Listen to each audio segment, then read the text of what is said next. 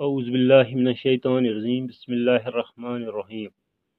Allam dear students of class eighth I welcome you all in my video classes I hope you all would be fine by the grace of Almighty Allah I am Mushtaq Ahmad Mir teacher at government U P S शाली भट्ठा मनिंगा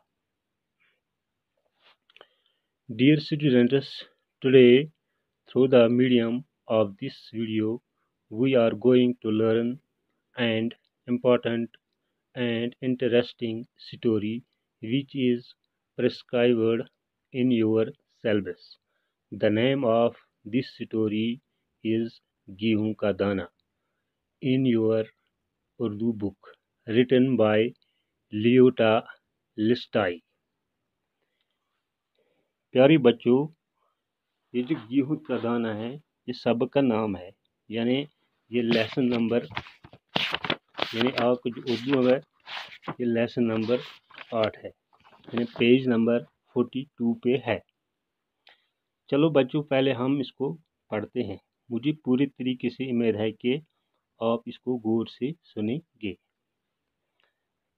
हाँ बच्चों, एक बार कुछ एक बार कुछ बच्चे खेल रहे थे। करीब ही ज़मीन में एक दरार थी। बच्चे खेलते खेलते वहाँ पहुँच गए। क्या देखते हैं कि वहाँ एक अंडा पड़ा हुआ है।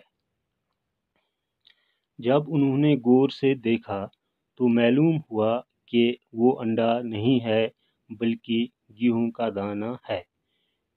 क्योंकि इसमें गेहूँ के दाने की तरह एक गहरी लकीर थी। अभी बच्चे बहस कर रहे थे कि एक मुसाफिर वहाँ पहुँचा।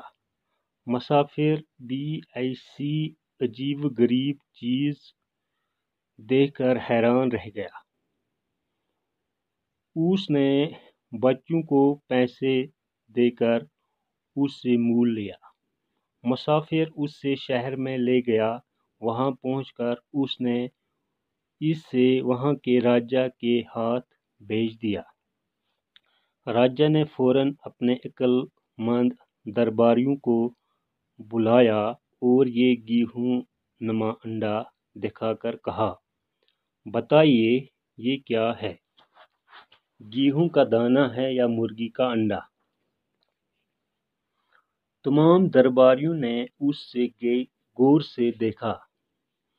किसी की समझ में कुछ न आया। चुनाचे गेहूँ का दाना पास ही एक खिड़की में रख दिया गया। ज़रा सी देर में एक चील आई और उसने उसमें छेद कर दिया।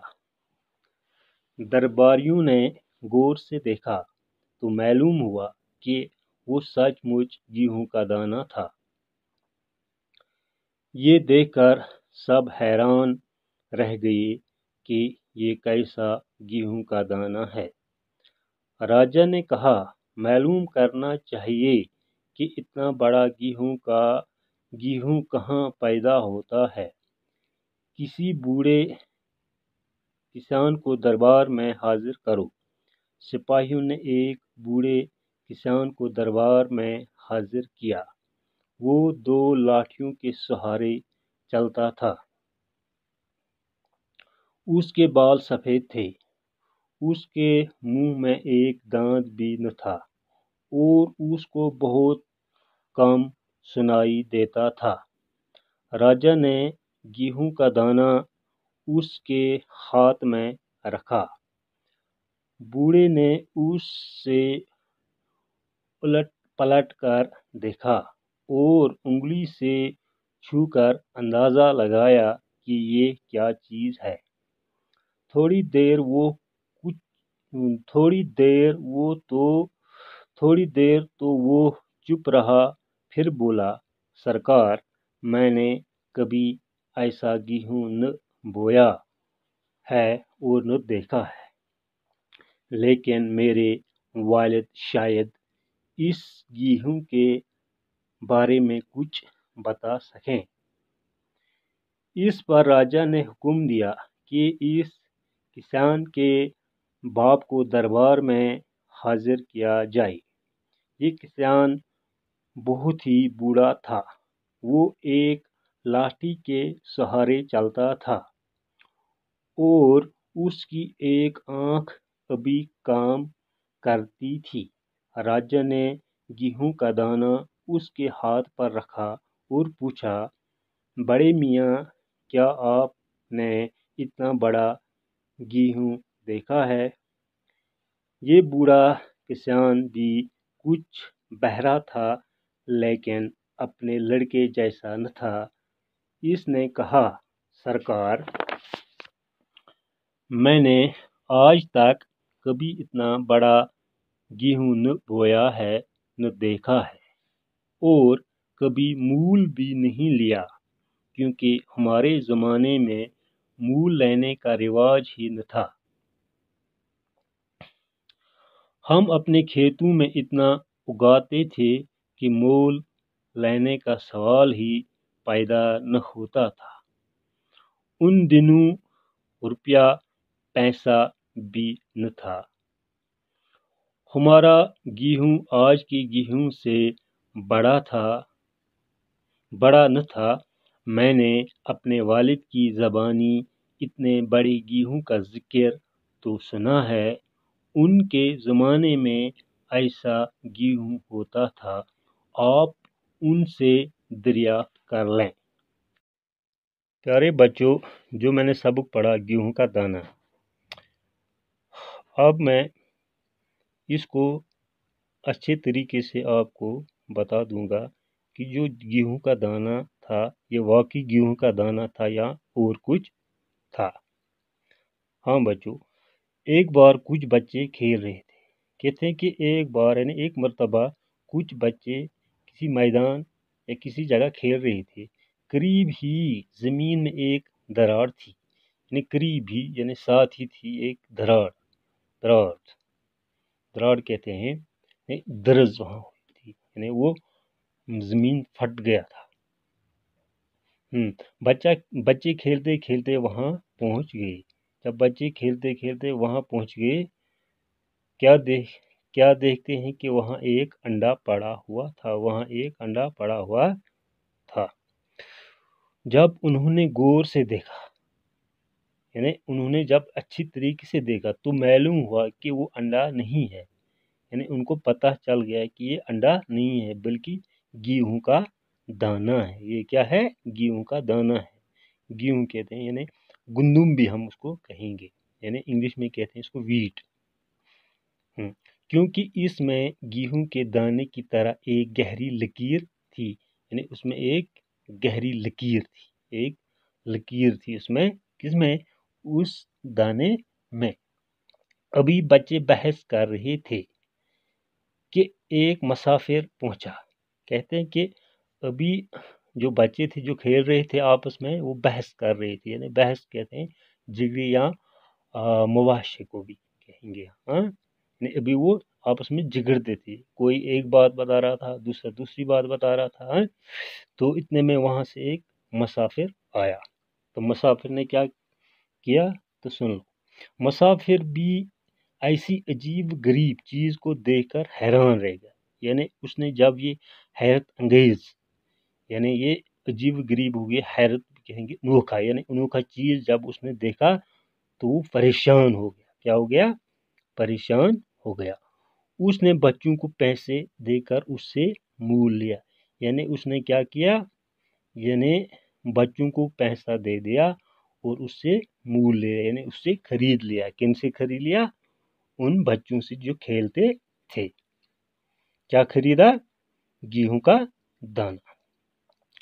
मुसाफिर उससे शहर में ले गया। जो ये मुसाफिर था, वो कहाँ गया? अब शहर में चला गया। वहाँ पहुंचकर उसने इससे वहाँ के राजा के हाथ भेज दिया। यानी उसने किसको भेज दिया? जो वहाँ का राजा था, उस शहर का राजा था, उसको भेज दिया। राजा ने फ़ौरन अपने अक्लमंद दरबारियों को बुलाया और ये गेहूँ नमा अंडा दिखाकर कहा।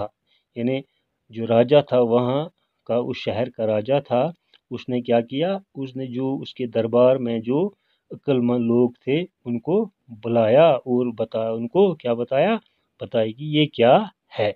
गेहूँ का दाना है या मुर्गी का अंडा? उनको बताया कि यहाँ ये राजा ने उन दरबारियों को क्या सवाल किया है हाँ, कि आप मुझे बताओ, ये गेहूँ, वाकई गेहूँ का दाना है या मुर्गी का अंडा है? हम्म। तमाम दरबारियों ने इससे, उससे गौर से देखा। जितने भी दरबारी थे उसके जो नौकर थे या बाकी थे, उसके लोग थे, उस दरबार में जहाँ रहते थे या सिपाही थे, हैं? तो उन्होंने उसको अच्छी तरीके से देखा। किसको देखा? यानी गेहूँ के दाने को देखा।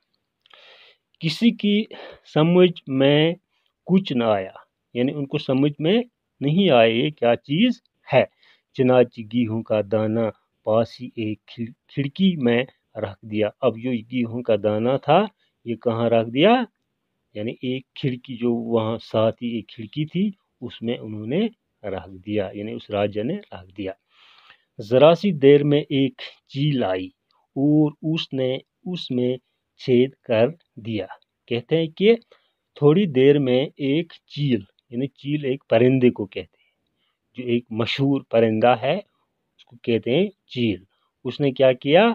उसने वहाँ जो खिड़की में रखा था, उन्होंने ये गेहूँ का दाना, उसमें उसने छेद कर दिया, यानी छेद कहते हैं सुराख या बल को। यानी सुराख कर दिया उस खिड़की को। दरबारियों ने गौर से देखा तो मालूम हुआ कि वो सचमुच गेहूँ का दाना था। अब इनको भी पता चला कि ये वाकई क्या है? गेहूँ का दाना ही है। ये देखकर सब लोग हैरान रह गए कि ये कैसा गेहूँ का दाना जब इन्होंने ये देखा तो वो सब क्या हो गए? हैरान यानी परेशान हो गए कि ये कैसे गेहूँ का इतना बड़ा दाना कैसा है। राजा ने कहा, मालूम करना चाहिए कि इतना बड़ा गेहूँ कहाँ पैदा होता है। अब राजा ने उन दरबारियों को कहा हम ये मालूम करेंगे ये पता लगाएँगे कि ये जो गेहूँ का दाना है ये किस जगह पैदा होता है। हम्म, किसी बूढ़े किसान को दरबार में हाजिर करो। आप किसी बूढ़े जो बूढ़ा आदमी को जो उसको पहचान लेगा कि ये क्या चीज़ है। उन्होंने एक यानी ज़मींदार को वहाँ लाया, यानी किसान को दरबार में हाजिर करो। कोई किसी किसान यानी ज़मींदार को यहाँ ले आओ। सिपाहियों ने एक बूढ़े किसान को दरबार में हाजिर किया। अब जो सिपाही थे, उसकी जो उसकी जो फौज थी, किसकी? यानी राजा की जो फौज थी, उन्होंने एक बूढ़े को दरबार में लाया।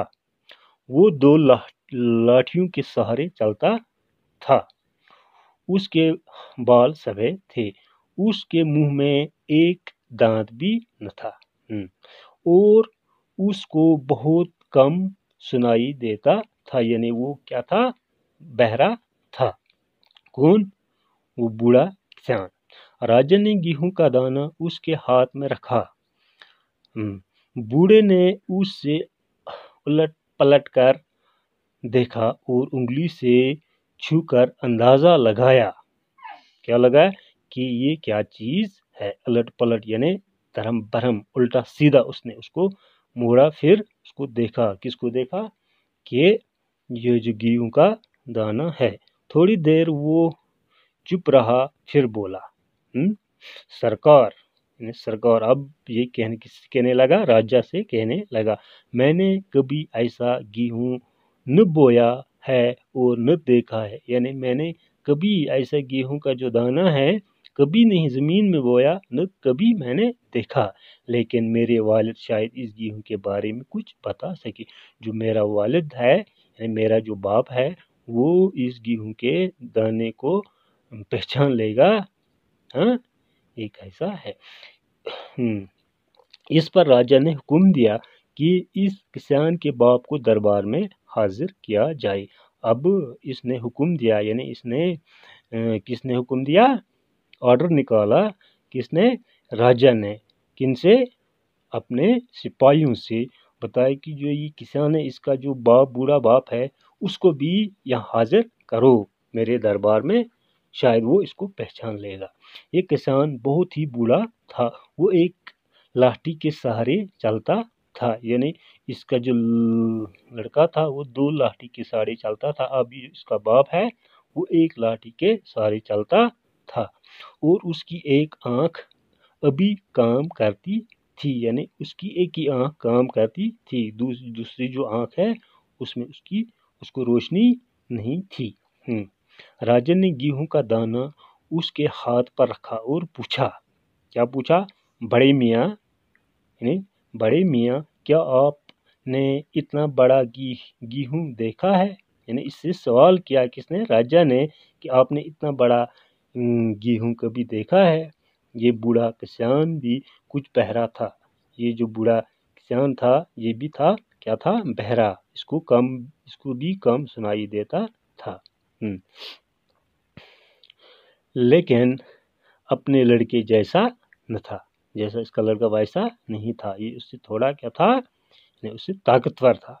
उसने कहा, सरकार, यानी सरकार, अब ये राजा से कहता है, मैंने आज तक कभी इतना बड़ा गेहूँ न बोया है, न देखा है। यानी मैंने आज तक इतना बड़ा गेहूँ कभी नहीं ज़मीन में बोया, न देखा है और कभी मूल भी नहीं लिया। कभी मैंने इससे खरीद कर भी नहीं लिया। क्योंकि हमारे ज़माने में मूल लेने का रिवाज ही था। यानी हमारे ज़माने में ये नहीं था कि हम, ये रिवाज नहीं था कि हम इतने बड़े दाने को खरीद लेंगे। हम अपने खेतों में इतना उगाते थे कि मूल लेने का सवाल ही पैदा न होता था। इन्हें कहते हैं कि, ये किसान कहता है, किससे, राजा से कहता है कि, हम अपने खेतों में गेहूँ के दाने यानी उगा सकते उगा, उगाते थे लेकिन जो हम खरीदते नहीं थे। इन दिनों रुपया पैसा भी न था यानी उन दिनों पैसे की भी कमी थी यानी किल्लत थी। हमारे गेहूँ आज की गेहूँ से बड़ा न था जो आज का गेहूँ है उस ज़माने की गेहूँ इससे बड़ा नहीं नहीं थे। हमने अपने वालिद की ज़बानी इतने बड़े गेहूँ का ज़िक्र तो सुना है। कहते हैं ये भी कहता है कि आप जो मेरा बाप था मैंने उसकी ज़बानी से सुना है कि इस ये जो इतना बड़ा गेहूँ है इसके बारे में मैंने उससे सुना है। हम्म, उनके ज़माने में ऐसा गेहूँ होता था। यानी उन उसके ज़माने में उसके ज़माने यानी जो इसका बाप था इस बूढ़े का था उसके ज़माने में ऐसे गेहूँ का दाना होता था। आप उनसे दरियाफ्त कर लें यानी आप उनसे पूछताछ कर लीजिए कि कि ये जो गेहूँ का दाना है ये बताओ हाँ? चलो बच्चों आज के लिए इतना ही। अग, अगले दिन में जो और रह गया वो भी साथ साथ हम पढ़ेंगे। तब तक के लिए खुदा हाफिज। शुक्रिया।